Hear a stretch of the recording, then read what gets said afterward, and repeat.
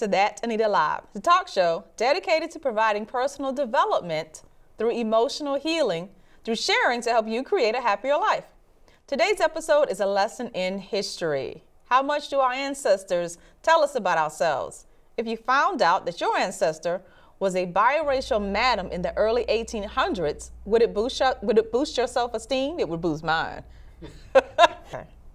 James, Nathan III, and Brandon Massey are here to share with us the story of Melvina, the most notorious madam in Red River Valley. Ha! Who wants to start? the book, it's, it's a book. The book was hot. So 1838, drop us in with Melvina, and she is arriving in North Dakota. Mm-hmm. Mm-hmm. Learning about Melvina, with her being a blood relative of yours, how did that make you feel? Um, it was kind of interesting because I didn't uh, expect it. It was uh, that that whole life was unexpected when we kind of uncovered it, and I didn't really believe it. Uh, I, I, couldn't believe that a black woman of that time could actually make that much money and do the things she did mm-hmm. at that time. So it was still kind of a. So surreal. was it always kind of like an oral history family secret, or? According to my cousin uh, Sharon, she, I didn't know anything about this because we just discovered Melvina. Okay. So after she we were talking, she this was before we even found Melvina. She said, you know, I have uh, my uncle Bay brother, who's a descendant. He's a Massey also. Mm-hmm. On uh, before he passed away, he told her, you know, we have a madam in the family, and so she shared this with me, and she called it, uh, I guess they call it kitchen table talk. Yeah. You know, and uh, so like I said, when I heard it, I was like, uh, what type of thing, and I was like, all right, you know, it, it might be possible, but I didn't really think it was I didn't think it was possible for a black woman okay. at the time. So I was like, nah, I don't, I don't think so. Like if she was making money, wouldn't someone take it from her? Then like, what was the first thing that you came across that you discovered that made you sit back and go, wow? Um, I'd say it was um, that we didn't when we went into this. Uh, my my grandaunt knew only her grandmother's name. She didn't know her grandfather, so we didn't know Henry, we didn't know Melvina, we didn't know anybody. Okay. So without without me looking for uh, Fascination Massey, who is, I think that's uh, Sharon's great grandmother. Without looking f- looking for her and then coming across Sharon, Sharon would have never told me that bit of history, and I would never searched on it. Mm-hmm. So just the just the way we came across each other, because I decided to pick uh, one specific name to look at, Fascination Massey, you know, uh, against the the other ones that brought all this information. The reason we have this information, the reason James has written this book is because Sharon and I met because of her great great grandmother. Once the book was, re- was released, did it make you more proud of your family lineage? It made me, uh, I, would say uh, I was already proud of my family history. It just made me uh, appreciate the fact that now we knew a lot more of it, mm-hmm. and that and it made me a lot more interested in history in general. You know, you know, you learn history in high school, but this made it a little more real. You know, made it a little more tangible. As you begin to do the conduct the research and pull out these tidbits of information, mm-hmm. what was one tidbit of information that you came across and you said, "No, this can't be true"? Um, hmm. I'd say one tidbit was that uh, we saw um, one of the censuses. I think it was the 1900 census that marked uh, Melvina as being white. And even though it said she was white, I still didn't think about it. it. Like I didn't put the pieces together until James one day said she was probably passing for white, and that's when it all fell into place. I was like, oh, that makes all of this makes sense. How she's able to get around this, and I never thought about it. Even with that staring me in the face, I was like, I just made a mistake. And James said, mm. you need to look at that. And I was like, oh man. So, how did you come into the picture once he began to research his family history?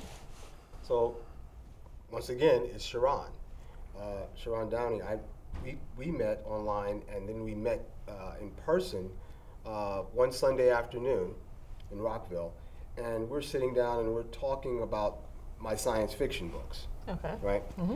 And then she says, "I have a story," and she's talking about how uh, they came together and they found Melvina, and then she's going through all these little tidbits of information about Melvina, and uh, my brain is working, and I'm thinking, wow, this is a book. This is this is Oprah, this is Lifetime. I said, oh my goodness, this is What, great. what was the one thing that she said to you in that meeting that took you to that place? Um, without question, it was the fact that uh, the promissory note. Okay, so wait, uh, after she had served time uh, in 1900, uh, she gets out of jail, and Melvina is, um, you know, just living life. Still went back to being a madam and everything, but the the law is still after her, right? And so she's facing all kinds of different uh, lawsuits. Everybody's trying to take it to court for over some reason whatsoever. Okay. And so one of her attorneys, uh, one, of, one of her attorneys in one of the cases she wins, she pays him with a promissory note. The promissory note is for transactions that occur inside of her brothel. Okay? So if he took that back to the brothel, well, he could get anything he wanted. Okay. Okay? In kind. So he takes that, smiles, and walks on, on about his way. Well, he used that same promissory note to pay off one of his debts. So that guy decides, well, I don't want that. I don't want what I can get in the brothel. I want cash. he goes to Melvina and says, pay me cash. And Melvina goes, no, let's go to court. So she took him to court. The judge hears the case, both sides, and he sides with Melvina. And he tells the man, that promissory note is good, and it's good for anything you could get at the Crystal Palace. Case closed. and that was the point that took you. That, when, when, I, when I heard that story, I said, okay, I'm in. Let's go. Okay, so Melvina drops into North Dakota, mm-hmm. and she does what?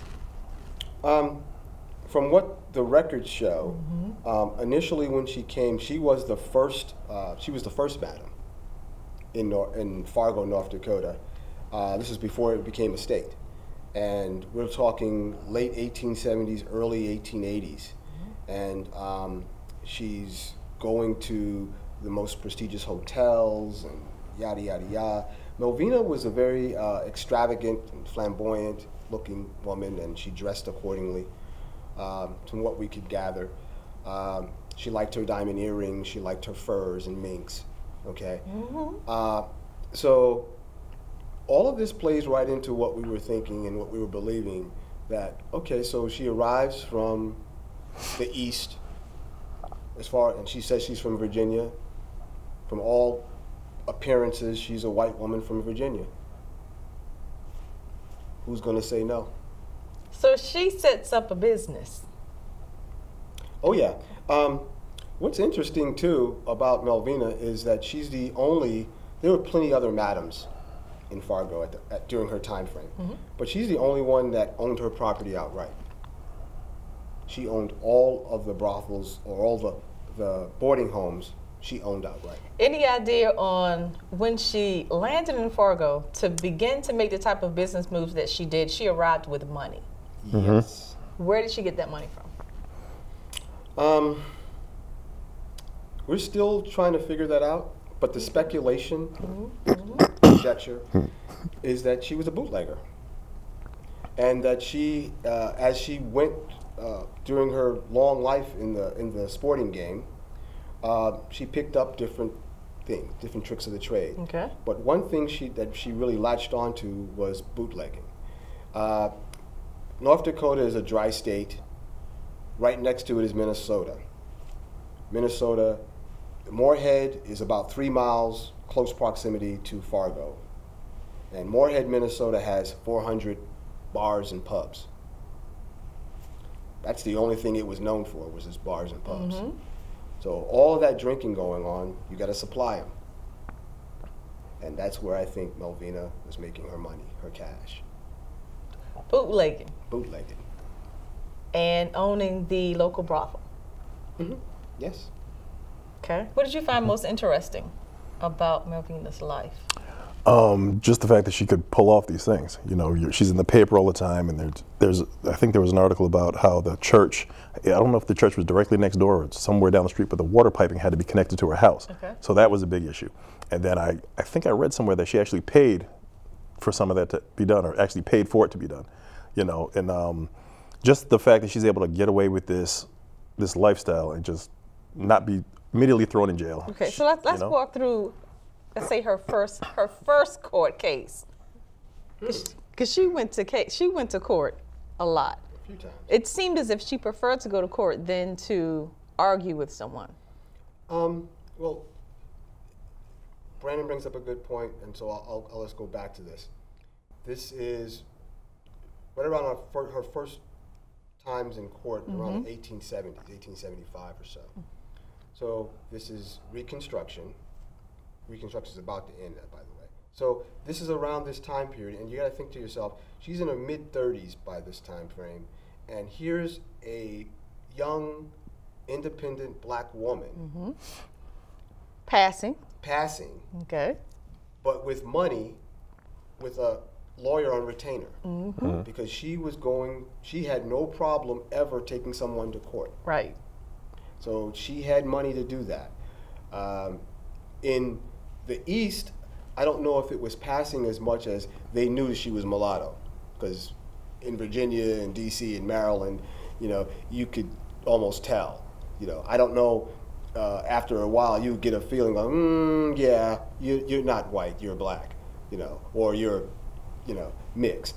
Uh, but the further west you went, the chances of that happening were slim to nil, especially in the Pacific Northwest in that area that she was in. Uh, not Pacific Northwest, but the, the, the middle west of the country, upper north tier, northern west. Uh, yeah, it's mostly people from Scandinavia. They, they So, don't you didn't see that. what was her first court case like? Who did she take to court? Um, I always get his initials mixed up. Lewis H.P. Davis, I believe. Lewis H.P. Davis.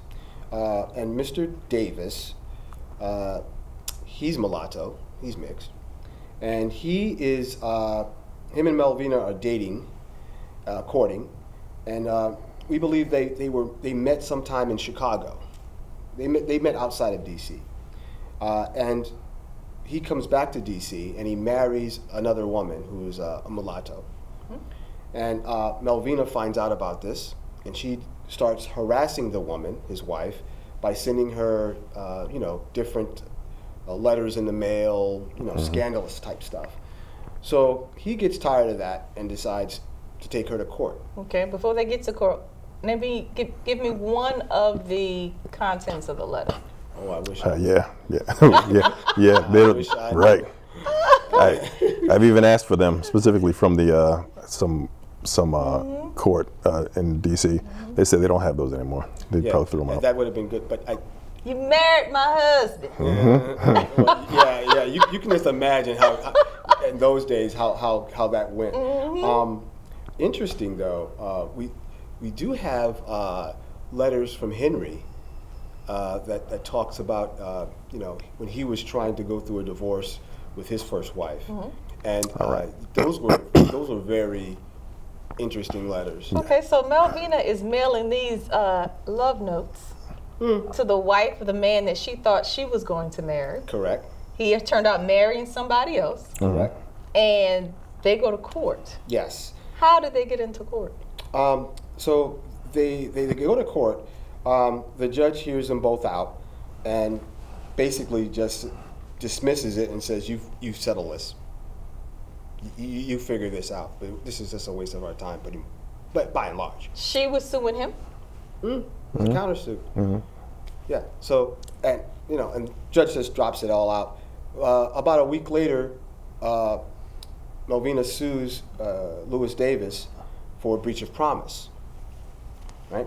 So basically saying, "Hey, you promised to marry me. Uh, so either you do that, or we're going to let we the go judge decide. Give me five thousand dollars." So, um, and we, further research finds that Mr. Davis was a courier uh, for the then, which is either the, the Treasury. So he was a courier, and he was working for uh, uh, a retired uh, Army colonel. Okay. So he wasn't making that much. And so the, our speculation is that when they, the judge basically said, told him to settle the thing out of court. Well, actually, they settled and it was dismissed. So they settled out of court. So I'm assuming that Melvina might have got fifty dollars from him, no more than maybe a hundred tops. Did they ever speak again? I doubt it. Not that we know. Okay, Yeah, so I- was she ever dragged into court for running a brothel? A bawdy house. Yeah, they never got dragged into court. They only got dragged to the the police station, I guess, mm-hmm. to pay their quote unquote fine, which was funding the town. Which in the fine was The, I think it was 75 or 70, 75 bucks. They'd find the, all the madams and they say, you know, go back to work and keep making us some more money. Yeah, because um, the brothels funded all the um, the services that you'd have for the county. So you'd have uh, trash pickup, uh, you'd have livery stables, uh, you'd have the sheriff's department, his deputies. Okay, all of that got funded by these illicit services. These were the did she ever get dragged in for bootlegging?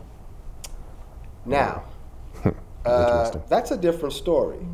Okay, so they wanted to arrest her and they sent her to jail for bootlegging. But what they caught her doing was basically a misdemeanor. She was selling or providing spirits to people in her boarding house. They never caught her for bootlegging, but that was the charge.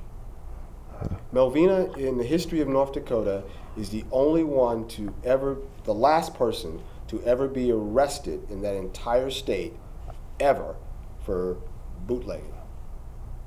And this is all the way through Prohibition, too, as well. Did she ever have kids? Outside of Henry, um, there's speculation that she may have had two other children, and that's just based on her um, when she was arrested and she said that. But other than that, we don't really know. We don't really know. Miss Melvina, the madam of, of Fargo, North Dakota. We'll be right back to discuss more details of her life. ebook. And what we believe happened to Melvina is that the biggest crime she committed that made her infamous in that whole valley region was the fact that she never told anybody she was black. And it came to light as how? That's Henry a- Ray. Yeah, yeah, that's another piece of speculation because, I mean, we don't really know what turned for her, but I mean, it's it's it is plausible that you know someone found out, and I know with uh, that Henry Ray case when he took her him to court, he probably would have said, you know, she's running a brothel and she's black, and you guys didn't know, and it probably would have all been like, oh, we got to do something about that now. It's possible, but we don't know. We don't know specifically. Her husband was white. From day to day, what was Melvina's life like? Oh. Man. That's that's interesting. Um, I never gave that much pause thinking, simply because um, in the sporting life, if you're running a boarding house like that, it, it just depends. I mean, you could be up all night, all day. You know, so I don't know. I I would think that um, when she was running the Crystal Palace, it was more than likely um, just entertaining guests. Entertaining guests uh, throughout the day and evening, And was and bootlegging. because what comes to mind is either Miss Kitty from Gunsmoke or um, Best Little Whorehouse of Texas that had Dolly Parton in it. Yeah. Um, it, she she was the grand madame. Okay, so she made sure that people came in, they had a good time, they wiped their feet, da da da da, da that type of thing. And in having a good time, did she have entertainers there? Oh yes. Okay, so she she give she me that detail. She um, would import uh, musicians, uh, black musicians, to perform inside of the Crystal Palace. Oh yeah. Oh, she did that. Oh, she because the Crystal Palace in and of itself was something that was special in Fargo. It was supposedly, you know, just this grand place. You know, um, I, you know, you really don't know because you don't have people that gave eyewitness accounts of being inside the Crystal Palace, you know, and how, how it looked. But it was modeled after the Crystal Palace from Queen Victoria. Right, but in the book, Yes.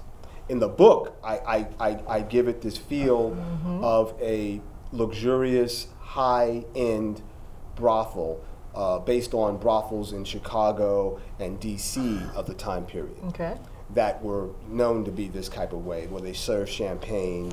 Uh, you know, you had nice. She had uh, uh, chefs and cooks come in through as well to provide food for them. So it, it was it wasn't it was in the hollow, which was the, the transient part of town, but it wasn't, you know, it wasn't like eating at Popeyes or anything like that. It was, you, know, you, know, you came there, you ate good, da da da. She entertained folks. It was a, Who were some of the entertainers that she had come through?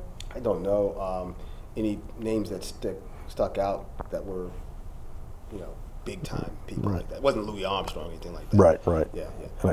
I, I think some of the borders too. When you look at the city uh, directories and you see who's staying at her house, they will just say a musician here or some other guy here. So she had different people living at her house, and I think she used to. Uh, I read somewhere, I can't even remember what it was, that the town wouldn't allow uh, black folks to stay in their hotels, so they would board with Melvina at some point. But I got to find out where that was written Yeah, and it, it's interesting too. the, and and by and large, uh, a lot of the, the city ordinances, I, I, it's amazing to me because there were other black madams in Fargo. She wasn't the only one. Uh, so that when they did find out that she was black, uh, I'm sure that clicked in the town as well, and they said, "No wonder, no wonder this is where black folks and, and, and, and, white folks are all living together, you know, you know, under the same roof. No wonder, you know." Uh, so uh, it, it, it's one of those things. Uh, I remember reading this uh, thesis that someone had wrote saying that uh, the white prostitutes didn't work for black madams. And I found that to be odd. I'm like, mm, I, I, I think they worked for whoever, whoever, whoever was running the well, boarding house. was passing, so it really didn't matter. Yes, it didn't matter for Melvina. So I, I was like, yeah, I, when you're a prostitute and you're in a boarding house, um, it doesn't matter who's running the boarding house because if they tell you to go, then guess what? You're going to be out on the street and you don't want to be on the street. So the stagecoach pulls into town, Mm-hmm.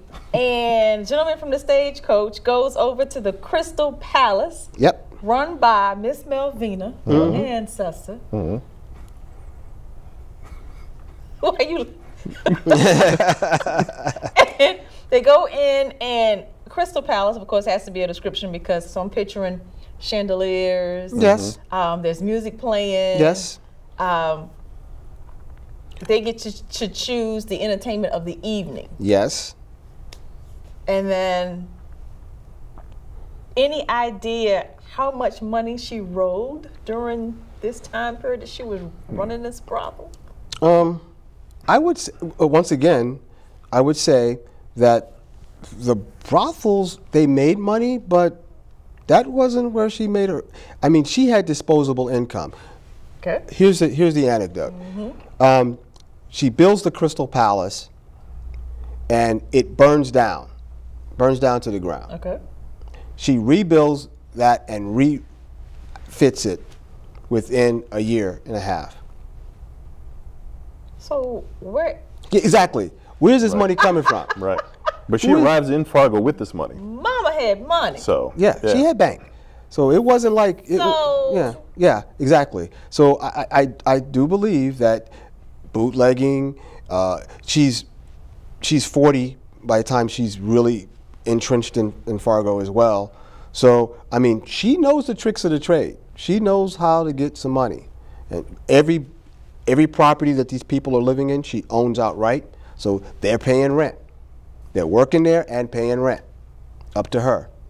So there's one thing that I, I think, uh, and we'll touch on this, and it's my speculation that there's a there's a big difference between the Melvina that is the legend and folklore Okay. of the period and, and of the region, and the historical Melvina. It's a big thing, diff difference. And the story in and of itself is different too. Uh, I believe that once they found out, there was a big backlash. And for the rest of her life, from 190, from 1900 to the rest of her life, 1910, 1911, they, you know, whatever they could stick it to, they did. You know, back and forth. Okay, break that down. When you say stick it to her, what are some of the things that she went through? they constantly tried to get her on more bootlegging charges mm-hmm. throughout that time period from, from 1901 they tried to get her back they w- even went to the extent of getting someone on a stand that was about to lie and he was about to lie under oath, and then he forgot his lines, mm-hmm. and told and said so out loud in the court. Mm. Yeah, yeah. See, yeah. so, so it, it ain't a. They all they, they say, oh well, you know, she was a madam. I says, no, they they they were on the right track. She was a bootlegger. They just couldn't prove it. A lot of the people prior to that that were supposed to show up for trial mm-hmm. to testify, mm-hmm. they mysteriously disappeared. They never showed up. And each time she got dragged in, she got dragged in for bootlegging. For the most part, Okay. it wasn't for Yeah, it was never prostitution. pro- yeah. No, it was for bootlegging. They knew, they just couldn't prove it. They don't know what she. They didn't prove what she was doing. uh, They could, just couldn't prove it. But what I always would say is that she couldn't make any money in North Dakota. She was making money in Minnesota. So I don't know why the people in Minnesota weren't charging bootlegger because she was bringing it the booze to. I guess she was bringing the booze through North Dakota onto Minnesota and just selling it and popping out from there. But I don't know. It's all speculation at this point because we don't have anything to back it up. Like it or not, our past does tell us a lot about ourselves. Make sure to research and document your history as far back as possible. There may be a big surprise of enlightenment in it for you. To reach out to James, find him on Instagram at. Uh, New York King MD. To reach out to Brandon, find him on Instagram at. Uh, no Instagram, but you can find us on Facebook at uh, uh, Massey Family. Uh, you can find us on Facebook. Get in touch with us there. I'm Anita, your host. Be sure to check out thatanitalive.com for where and when to see our next episode. That's it.